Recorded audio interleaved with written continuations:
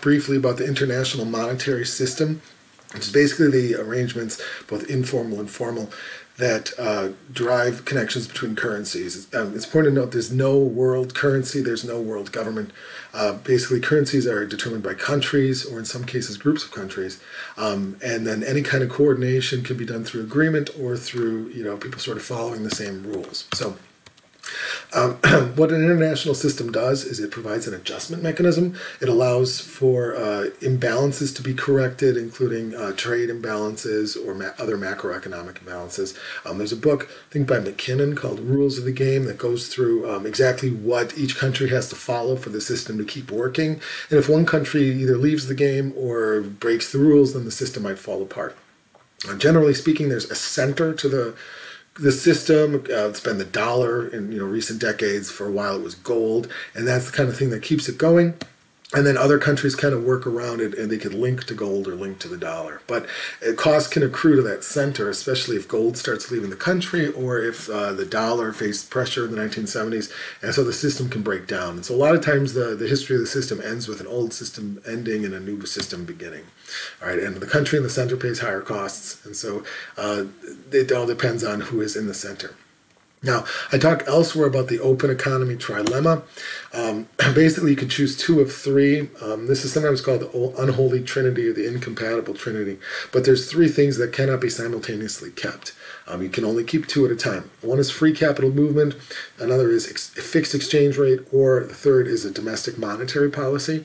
Um, most free market economists think that free capital movement is the good one to keep, uh, but so that leaves that countries will have to choose between a fixed exchange rate or domestic policy. And having a fixed exchange rate means you sacrifice uh, the, your money to, to keep the fixed rate, right? So you can't use money for domestic goals like fighting inflation or boosting employment stuff like that. So the interest rate, we can actually use the IRP or interest rate parity equation to show that you can only do two of those three. Right. So if you keep the rules, keep the system going, then, the, then it works, but eventually it'll fall apart. So here's the IRP equation. Home interest rate is equal to foreign interest rate plus the uh, appreciation of the foreign currency. Now, this assumes free capital movement. Now, if you want to get rid of uh, the, the free movement of capital, you can ignore this equation and say that every country is on their own.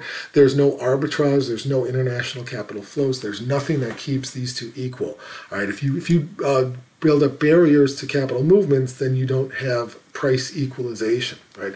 So this equation basically shows that you can choose fixed exchange rate, which means this is zero, or you can choose uh, monetary policy that is uh, for your own goals as opposed to being linked to the foreign country. Okay, so you can't choose R, right? Home can't raise their rates unless either foreign raises rates or uh, the exchange rate moves. And so keeping foreign equal, home raising rates is going to actually raise the exchange rate, right? So it's by definition not fixed. Independent monetary policy means exchange rate moves, right? Choose one of two, right? Now, like I mentioned, you, you don't have arbitrage, you don't have price equalization through capital controls, right? So it's really kind of a dilemma in the free market economist's mind. You can choose either the exchange rate or the monetary policy. Okay, so uh, in history, there are basically four or five main periods. The one that a lot of people talk about, I talk about elsewhere, is the gold standard. It was an unofficial unofficial arrangement of fixed rates. There was no gold board. There was no um, government doing this, but but Britain, other large countries linked their currencies to gold, and then other countries followed suit. Right, and so the major currencies did that. Big thing about the gold standard was that there was actually a price of gold. The bank, the central bank, you could, would actually exchange domestic currency for gold.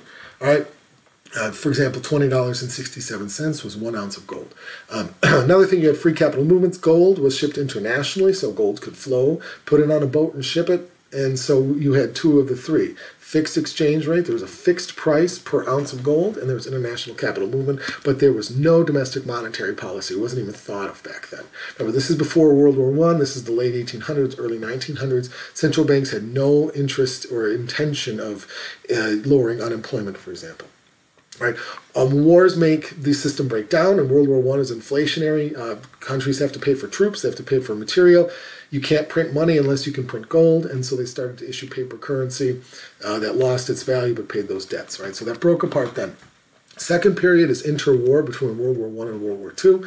Countries went off the gold standard because they had to print more money than their gold supplies would hold, and so they tried to go back on. Some went off again, um, but the thing is, is that they kept their old exchange rate. And if war is inflationary, your currency should be weaker.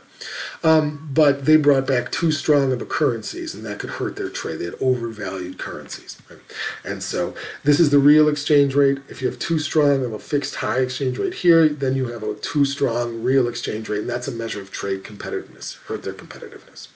Right, and so countries were actually trying to uh, go into recession and like pass the recession on to their neighbors. All right, hurt their economies. Um, some studies have showed that the gold standard may have prolonged the depression for those countries that did it, and so uh, kind of advocates for a free floating currency. Um, but there were trade wars. People had currency blocks and trade blocks. They would uh, try to have competitive devaluations. They would weaken their currency to help their exports, which uh, make the other countries' imports expensive, would pass on their economic problems to their neighbors. And so there was chaos that led to real war in World War II. All right, at the end of World War II, uh, knowing that what happened at the end of World War One, the major leaders um, a year before the war ended, uh, met in New Hampshire at the uh, Bretton Woods Resort to discuss the post World War II system, hoping that there'd be stability and coordination, and as a result, no World War III. All right, so they set up a system of fixed exchange rates with the U.S. at the center, um, and so uh, the U.S. was had to pay those costs, and they also had institutions to maintain currencies and trade. And so the IMF, the International Monetary Fund, was designed to lend countries money to maintain fixed rates World Bank was the precursor or the postcursor to the redevelopment agency. GATT, the General Agreement of Tariffs and Trade, um, was the trade agreement because the International Trade Organization never passed in the U.S. So they had a trade agreement that in 1995 led to the World Trade Organization. So it was mostly here I talk about the financial side, but there was also trade in organizations as well. But they they tried to have coordination to stop the chaos uh, that uh, happened after World War One right? This system was the Bretton Woods system of fixed exchange rates and international organizations. The fixed exchange rates lasted until 1971 and 1973 when U.S. President Nixon uh, decided that the costs in terms of the gold and, and the U.S. Uh, you know being unable to devalue the dollar, um, President Nixon left the system. And since then, the currencies have you know, floated freely for the most part. All right, the U.S. at the center had one ounce of gold at thirty-five dollars, and so a lot of times older people will talk about how you, you know, Fort Knox has all the dollars, really because back. in 1970s, um, you could trade an ounce of gold for $35. That doesn't exist anymore. But the U.S. was at the center, linked to gold. Other countries linked to the dollar. One dollar was four German marks, four Deutschmark, and so the other countries were linked indirectly to gold through the dollar. But you could change this if you were another country. You could devalue. You could make one dollar worth five Deutschmarks, right? Uh, the U.S. could not because it was it had that set gold price, and so Germany had an undervalued currency, for example, that actually helped it um, recover after World War II. All right, so the U.S. didn't have that privilege. All right, a big thing about Bretton Woods was that it actually left uh, out the capital movements. It had restrictions on capital movements that lasted well into like the 1990s for some countries. So countries tried to maintain a fixed exchange rate and uh, independent monetary policy by limiting the other part of the trilemma, the capital movements. Right. The U.S. was limited. The U.S. had high expenses in the 60s. The 1960s, the U.S. was paying for the Vietnam War, and wars are inflationary, but also social benefits through the Great Society under President Johnson. Um, that would be inflationary. You would want the currency to weaken, but the dollar was pegged. So the U.S. was paying great costs, and eventually in the 70s they left. Right, we were now in the modern system, post Bretton Woods, and older textbooks sometimes act like Bretton Woods is still going on, but we're well past that. Not all currencies float. Uh, until the mid 2000s, China was fixed to the dollar, for example, but um, the U.S. is still the center of the currency system, um, and uh, most major currencies like U.S., Japan, Europe, etc., float. Okay, some countries that are like oil exporters pegged to the dollar, but for the most part, economists advocate for free capital movements and floating exchange rates. Right. Some emerging markets also do have those fixed exchange rates. All right. The euro is a special case because within Europe, every country has a fixed rate. France and Germany have a perfectly fixed rate to one another, and so that has problems if, if for example, Germany has high high um, inflation and Greece has high unemployment. One money does not solve both problems at once. So the euro is a special case of a common currency, uh, which leads to uh, basically asymmetric policy that can't be done with one money. All right, and so you have to understand all types of exchange rate regime a lot of textbooks just do perfectly fixed and perfectly floating, but there are others in between um, that are important to learn in international finance class.